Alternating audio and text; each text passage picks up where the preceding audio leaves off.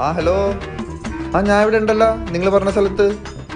ഞാൻ നമ്മുടെ സൈഡിലെ സോഫയിൽ ഇരിപ്പുണ്ടാവും. ആ കറക്റ്റ് ഇരിപ്പുണ്ട് ഞാൻ അവിടെ. ഏ?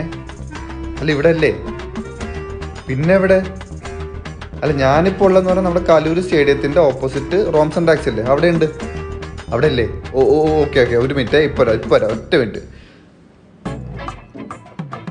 ഓ സോറി സോറി അതെ സോറി ചേച്ചി സോറി ചേച്ചി. പെട്ടി മരിപ്പ് അല്ല പട്ടി മരിപ്പ് സോറി എടാ ഇവിടെ ഒരു ചെറിയ പണി പറ്റി. ദേവന്റെ ദേവന് ഓടി